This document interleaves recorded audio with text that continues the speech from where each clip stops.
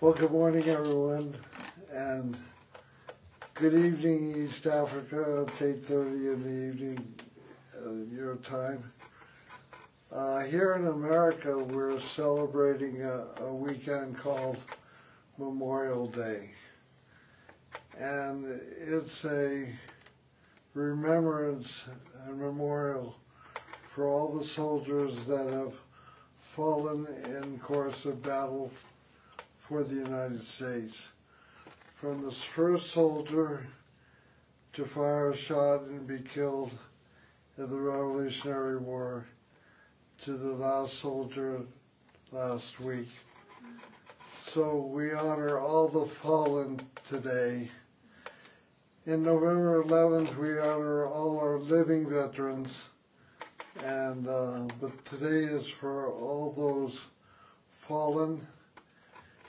It's for all those families that are Gold Star families, and so we enjoy our freedom and our, and our weekend, our garage sales, our barbecues on the foundation of the blood sacrifice of our soldiers. So I want to let you know that. The word of the Lord this morning is called Three Days in the Heart of the Earth. And we're going to be in Ephesians chapter 4 verse 6, verse 7 through 10. Heavenly Father, I pray for the power of your Spirit to cause your word to flow quite powerfully this morning. Pray for your anointing upon us to uh, me to speak and your people to hear, eyes to see, heart to receive. And Lord, I pray for revelation today. In Jesus' name, amen. Well, today's message, you're not going to get a whole lot of things to do. But you're going to be very aware of what happened in the heart of the earth after Jesus said, It is finished, to the time he was raised from the dead. That's an important time that everyone, I believe, needs the information and knows what's happening during that time. So let's look at verse 7 of Ephesians chapter 4. However, he has given us, each one of us, a special gift through the generosity of Christ. That is why the scriptures say, when he ascended to heaven, to the heights, he led a crowd of captives and gave gifts to his people. Verse 9, notice that it says he ascended. This clearly means that he also descended to our lowly world and uh, to the under the earth to the heart of the earth. And the, and the same one also who descended is the one who ascended to higher than all the heavens so that he might fill the entire universe with himself. I to first of all say, talk about the death of Jesus and what it is. It's a physical death of Jesus, not a spiritual death. Jesus, the deity of Christ, the second person of the Trinity, cannot be anything less than God. He is totally God. He cannot be altered to be something different than who he is. God is the author of life and cannot die. God cannot be diminished by time or space or anything else that man can do, or anybody can do. So the Bible is very clear about this, but I want to make this very clear because there's a lot of people that twist the scripture to give a story of Jesus dying spiritually and going to hell in the heart of the earth. And I'm going to start off with it saying that first of all, it's a physical death. The very first sermon that Peter preached in Acts chapter 2, 24, but God raised him from the dead, freeing from him from the agony of death, because it was impossible for death to keep its hold on him. Verse 27 Because you will not abandon me to the grave. The word grave is Sheol, Hades, where we, end, where we errantly get a translation of hell, but it literally means the grave. And uh, if somebody buries you uh, and goes out to the cemetery, we don't say in English, we buried them in hell, right? But the Old English word that translated the Sheol and Hades gave the inference of hellfire, which is Gehenna, but it actually is speaking of the grave, Sheol. So when we put some people in the grave, we're not putting them in hell, correct? Amen. But the translations of the Bible of a lot of that of that word give us the impression that he was placed in hell when it simply means the grave.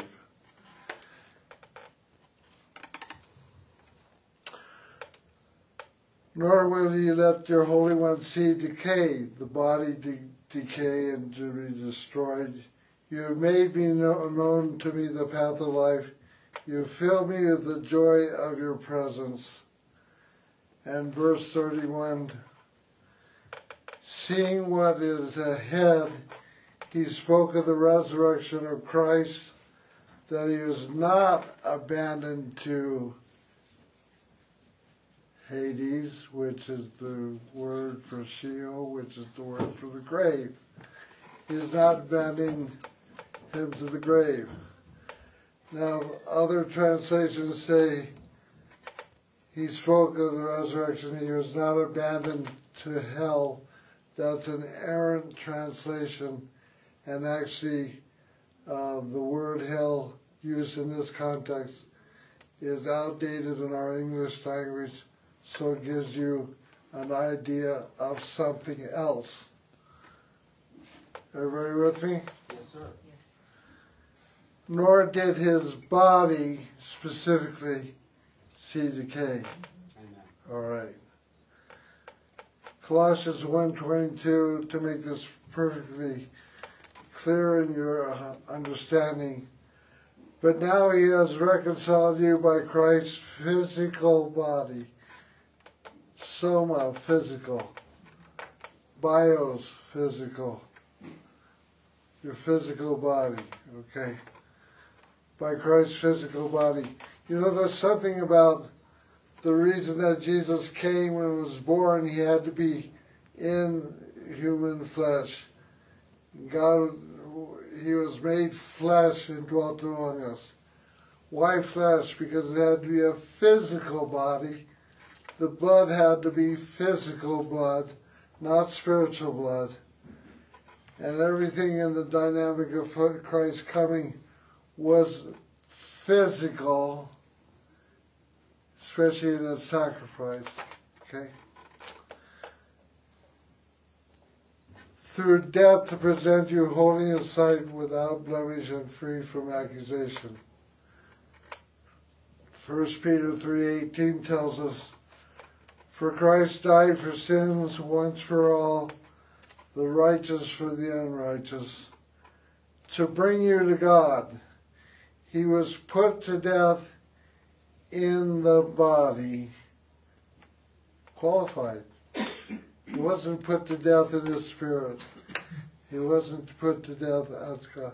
No, put to death in his body, but made alive by the Spirit. And you remember my Easter sermon where God, the Trinity raised Jesus from the dead. One of the reasons we know that Jesus did not die spiritually, John chapter 2, verse 19 and 21 says, Jesus answered them and said, Destroy this temple, and in three days I will raise it up. In three days. If you're dead, you can't do anything. If you're alive, you can do things. Jesus alive raised the body of Jesus to life, along with the Holy Spirit and the Father. But the temple he had spoken of was his body. Revelation 1:18 Jesus says, I am the living one. I was dead, and behold, I'm alive forever and ever. I hold the keys of death and Hades. Okay, that's uh, Hades is the Greek word meaning Sheol, the grave. The grave. Hades in English takes us in another direction, right? But the, the actual word is Jesus saying, I have the keys of death and the grave. I'm so glad that we're not, when we bury you, we're not saying, and I commit their body to Hades. Who, who would, who would understand that? Everybody would misunderstand that and think hell, which is rightfully understood in our language. But the Bible says we're talking about the grave, physical grave.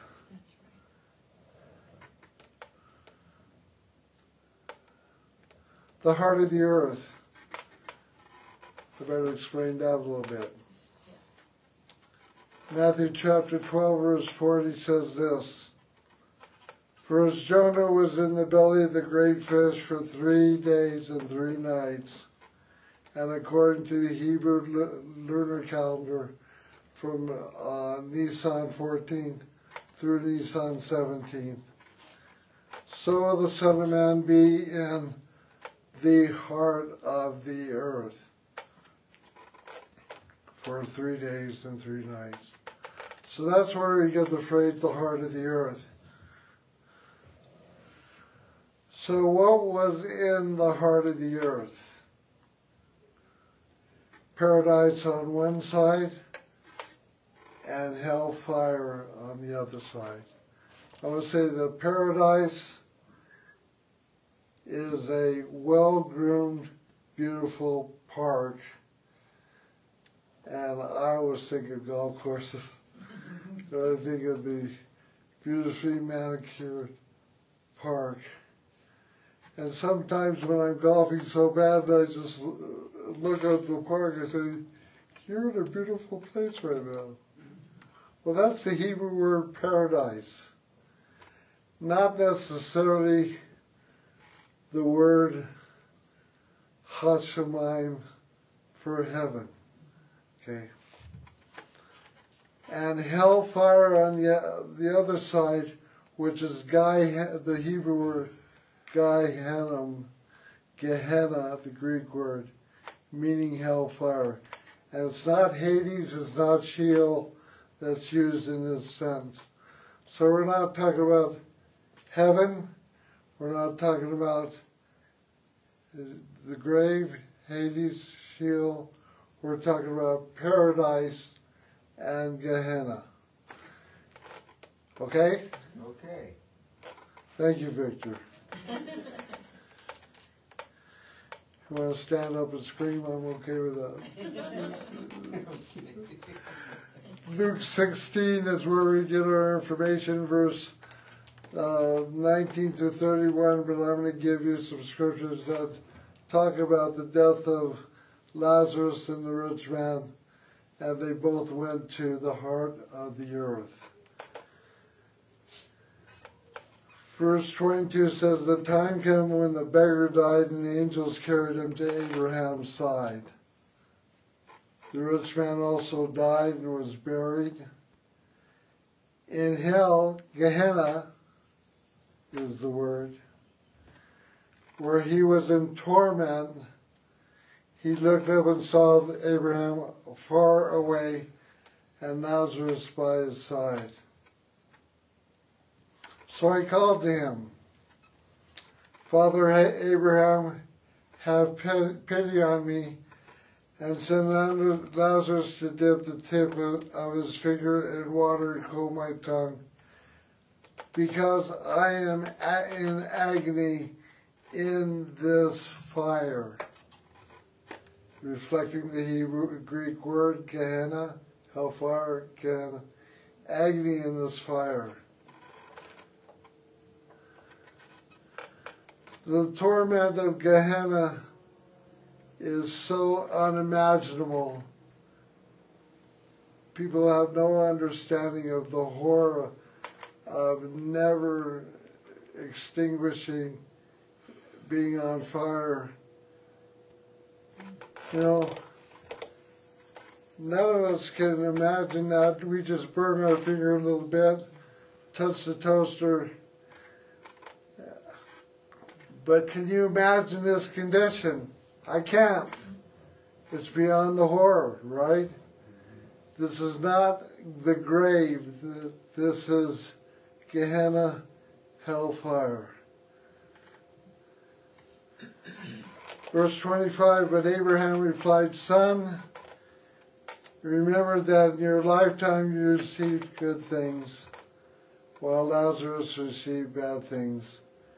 But now he is com comforted here and you are in agony. And besides all this, verse 26, between us and you is a great chasm that has been fixed, so that those who want to go from here to you cannot, I don't know why they would, but they cannot, nor can anyone cross over from there to us. And we know why they would want to do that. in chapter 23 on the cross to the repentant thief on the cross, Jesus answered him and said, I tell you the truth, today you will be with me in paradise. Doesn't use the word heaven. Paradise to reflect the condition in the heart of the earth. If you need to go over the details of this, please look at my YouTube channel. It'll have all, all this there and also on Facebook again.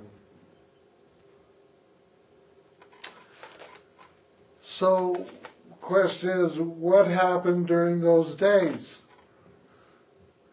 Well, first of all, to start off with Luke 23, verse 46, Jesus shouted, Father, into your hands I entrusted, trust my spirit into your hands. So immediately while Jesus was in the, on the cross, his spirit was going to the Father, right? Mm-hmm. Not cut off from the Father, right? He's with the Father. And with those words, he breathed his last. So let's look at Mark, Matthew chapter 27, verse 50. We're going through verse 53. Matthew's virgin, virgin, Jesus shouted out again, and he released his spirit to the Father. At that moment, the curtain of the sanctuary of the temple was torn in two from top to bottom. At least four inches thick, woven, heavy, weighing hundreds, if not thousands of pounds, being torn from top to bottom. Could not be done by human hands. I would think it would take a pretty good chainsaw to work through that, right? Top to bottom. In the sanctuary, the temple was torn in two from top to bottom. That happened as the earth shook, rocks split apart. Things were happening. Hebrews chapter 10, verse 19 through 20, I want to inject right here because it says, Therefore, brothers, since we have confidence to enter the most holy place by the blood of Jesus, by a new and living way opened for us through the curtain that is his body. What was hanging on the cross was the reality. What was hanging in the temple was the symbol, the what could be sure. When this was torn, that was torn, and it was finished.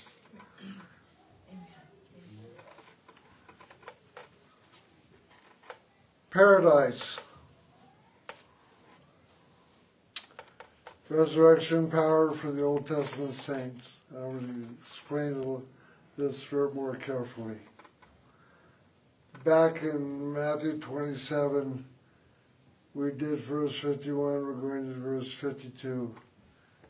And the tombs open, great earthquake, the tombs open. The bodies of many godly men and women who had died were raised from the dead. They left the cemetery after Jesus' res- resurrection and went into the holy city of Jerusalem and appeared to many people. Got to look at this and think, okay, what kind of resurrection is this? First of all, it doesn't say that everyone who was to be resurrected was there at the cemetery. It implies that there was one cemetery that he's talking about, and that some of the Old Testament saints that were there were raised. So, were there other cemeteries? Possible. Were there other far reaching events? Possible. But Matthew's just telling us what happened to the local cemetery there that had a resurrection of physical bodies. The physical bodies had to come after the resurrection of Christ's physical body, and that's implied in this passage.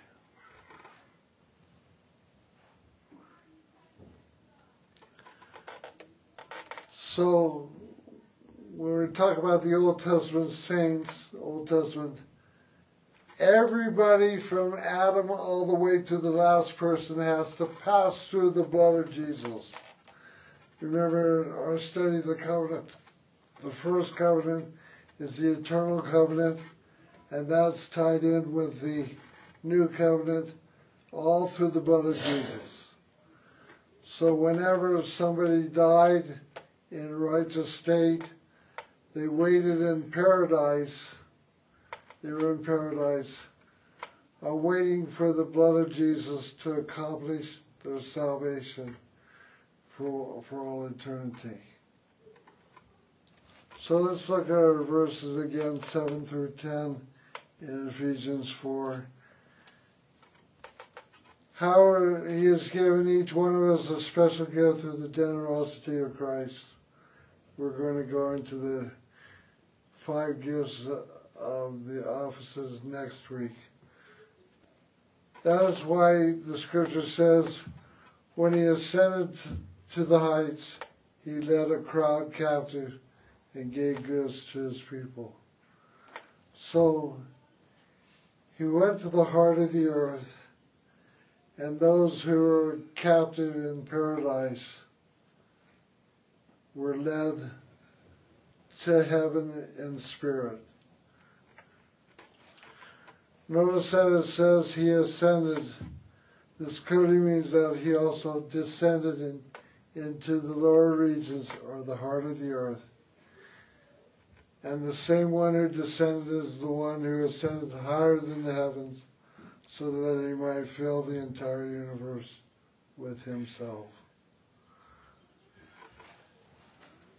So Jesus went and preached to the captives about his blood. They received the blood of Jesus because that's what they live for, according to Hebrews chapter 11.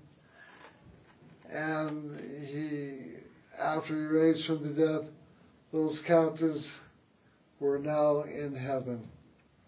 So they're there waiting for us. On the other side, there's the Gehenna, Gehenna, the val, the hellfire.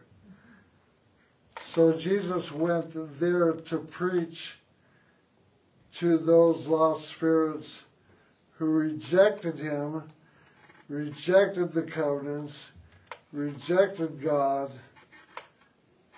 People like Haman, people like Sanballat and Tobiah, people like the Old Testament is full of them, examples of people that are in the hellfire side.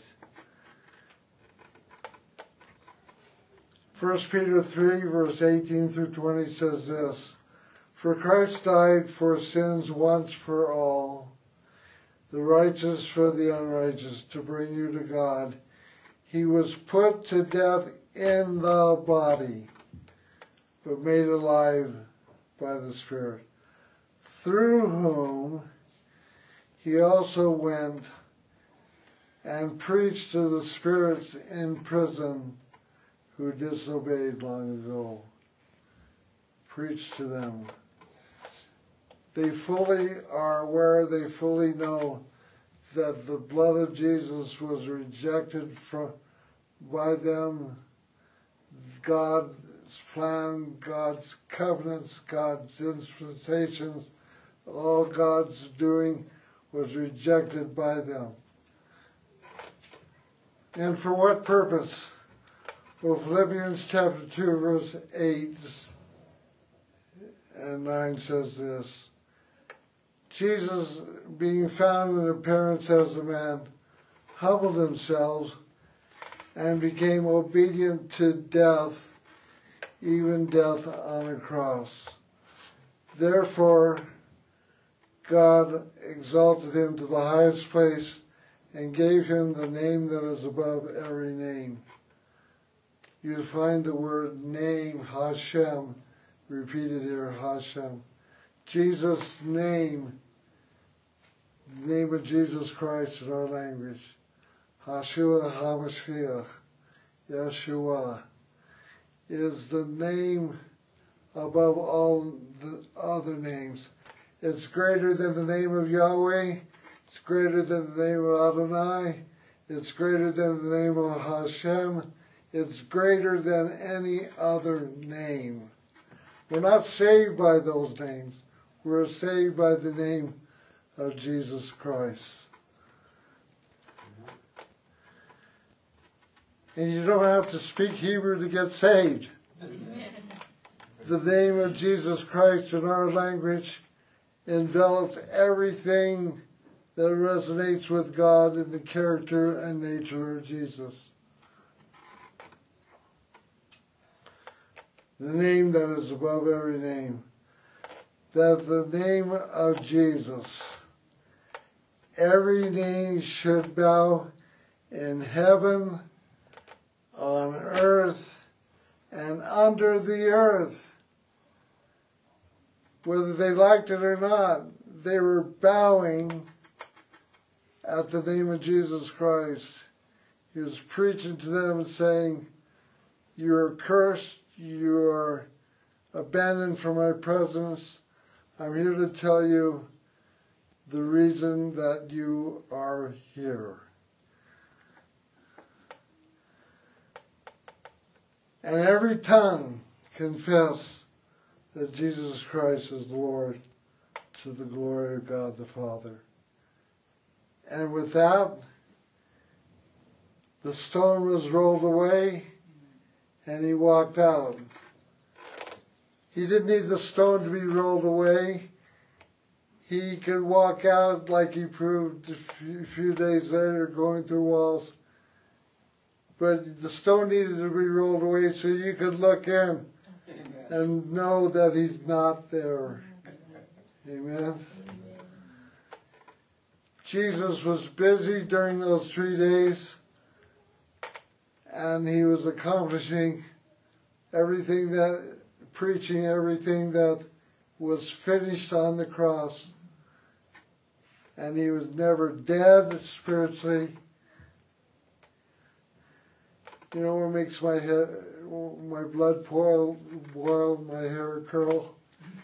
When I hear, oh, Jesus had to be born again in the heart of the earth because he was dead. And just and by the breath of the Father, turn that radio off.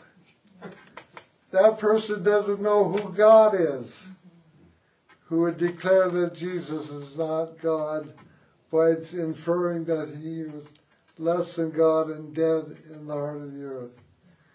If you distort who God is, you're on the wrong side of the fence. Everybody got a clear picture of what happened? Heavenly Father, I want to thank you for your word today. We thank you for the atonement that happened on the cross. When Jesus said, It is finished, he meant exactly that. And then he proclaimed and released captives and preached and was raised from the dead. And we highly exalt you, Lord God, and thank you in Jesus' name. Amen.